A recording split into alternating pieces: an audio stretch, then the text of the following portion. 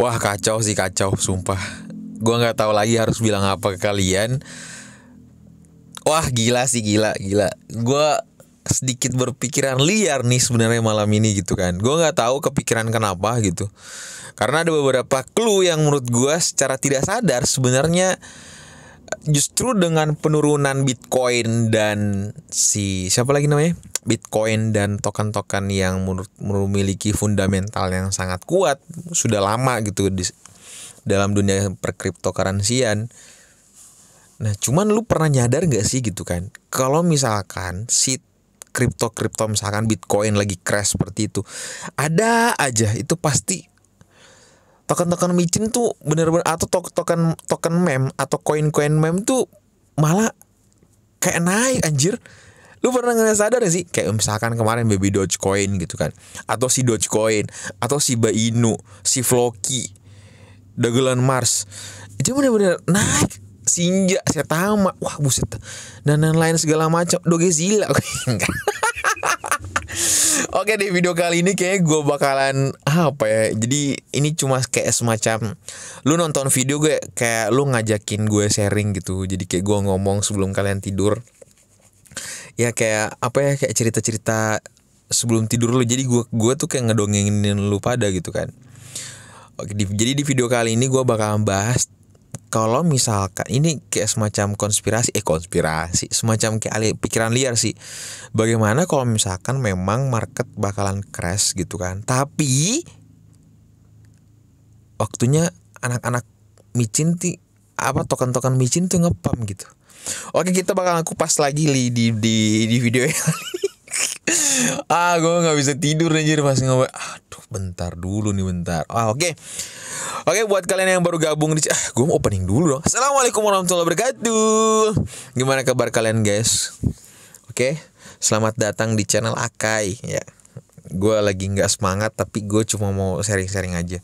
Jadi kalau kalian apa namanya baru gabung di channel gue, jadi channel gue tuh adalah channel di mana Kalian bisa dapetin update news terbaru mengenai dunia cryptocurrency. Nah, di sini juga kalian bisa banyak banget belajar tentang pola pikir, sudut pandang dan pelatihan mental pastinya.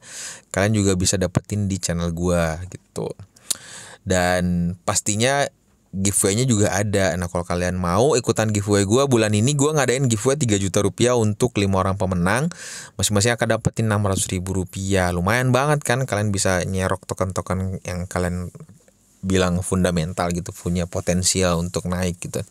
Syaratnya gampang aja, tinggal subscribe channel gua, like dan tinggalkan jejak di kolom komentar sebisa jadi kalian ngetik dan pastikan follow Instagram gua uh, di sini Akai atau Akaindis. Gua bakal ngundi tahun duri eh di, ta, di gua bakal ngundi di tanggal 28 Februari tahun 2022. Nah, ini suara gua agak kecil ya. Jadi gue sengaja biar nggak gue sengaja berbisik-bisik gitu kan soalnya kan namanya juga udah malam ya biar kalian juga merasa ada teman apa namanya dengerin dongeng gitu. Nah gue tuh ceritanya gini guys ya. Jadi tadi tuh kan gue baca-baca artikel gitu kan. Nih di sini nih. Si Dogecoin ini menarik perhatian paus Ben Smart Chain lagi. Nah ini dikutip hari ini guys 11 Februari. Eh, eh ini 11 Februari gak sih? Iya bener 11 Februari tuh kan. Nah ini kan sekarang lagi market mau ngepdam mau nge, mau turun nih kenapa ada orang gila nih? Kenapa ada orang unik malah justru nyerok si Dogecoin? Ngerti gak sih? Ya kan sekarang masih kalau misalkan mau dipikir-pikir nih ini kan sekarang belum waktunya Dogecoin. Maksudnya kalau misalkan kita lihat dari segi chartnya sendiri nih Dogecoin malah naik gitu kan. Maksudnya harusnya dia nyeroknya di harga-harga bawah dong. Ngerti nggak? Nah ya gak sih? Jadi kalau misalkan lu kita berpikir secara logika sebaliknya ada sesuatu nih ada sesuatu harapan daripada para paus-paus ini menyerok si Dogecoin. Dan memang kalau misalkan kita udah tahu bersama bahwa si Dogecoin ini kan memang pas uh, di bulan-bulan apa nih dekat intinya bulan-bulan dekat inilah dia kan memang lagi mau ngeluncurin Doge One kan yang roketnya si Doge Doge, uh, Dogecoin itu. Nah, apakah memang itu bakalan menjadi eh, tanda-tanda bakalan ngepam nih gitu kan koin-koin mem gitu. Oh ya, kenapa gue garis bawahi koin mem karena si bapaknya, jadi bapak daripada token token anjing itu sebenarnya Dogecoin guys. Jadi kalau misalkan Dogecoin itu naik nih, Dogecoin naik itu otomatis token-token yang lain tuh pasti naik juga gitu. Si Inu, Dogizilla gitu. gue nggak tahu kenapa kalau nyebut Dogizilla tuh maunya ketawa anjir. Astagfirullahaladzim. Eh lu juga kayak gitu gak sih? Lu gak bayangin Dogezilla gitu kan Terus itu membuat lu kaya. Wah kacau sih. Terus Baby Doge gitu kan. Karena kalau misalkan kita lihat bersama kalau misalkan contoh nih di aliran metaverse gitu kan. Bentar gue batuk dulu. Hmm. Jadi misalkan nih di dunia metaverse gitu. Jadi kalau misalkan Decentraland naik itu otomatis Sandbox naik juga. Terus Radio Caca juga gitu. Meskipun memang nggak terlalu signifikan sih, tapi kalau misalkan token itu juga udah naik habis itu dipam lagi sama developernya, wah kacau sih kacau. Gitu. Nah itu dia yang pertama ya. Itu apa dalam artian kayak uh, tanda-tanda gitu. Kalau misalkan memang bakalan ngepam nih. Jadi si apa Bitcoin crash, Bitcoin turun, tapi token anjing nih bakalan naik di situ. Kalau misalkan kita lihat di sini secara pribadi aja ternyata nih dia nyeroknya tuh lumayan gila value-nya tuh 48 juta dolar guys hampir 49 juta dolar ini wah itu duit oi bukan daun itu mal sedah kacau sih kacau sih guys. Waduh kacau kacau. Nah menurut gue secara pribadi ini dalam artian ya Nih kalau misalkan kalian lihat di sini nih, meskipun Bitcoin dan Ethereum adalah pemimpin dalam ruang kripto berdasarkan kapitalis pasar, penelitian kami menunjukkan bahwa mereka tidak selalu menjadi cryptocurrency pilihan pelanggan dan pencipta kami. Jadi, wah, gue nggak tahu lagi sih gitu kan. Kalau misalkan memang desas-desusnya bakalan apa namanya, bakalan menjadi koin apa sih bakalan menjadi ini nih momen-momen waktunya koin mem wah kacau sih kayak ini benar-benar melawan arus woi apalagi pas gua baru nge ternyata si baby Doge dia juga pernah nge-tweet bahwa meme terus di sini tuh ada SZN terus gue bilang gue pernah bilang review kan SZN itu adalah kayak uh, apa ya semacam kayak momen gitu momen. Nah, tapi kalau misalkan kita mau ambil secara pembahasan meme season. Ngerti gak? Meme season. Jadi maksudnya kayak meme session gitu. Asik.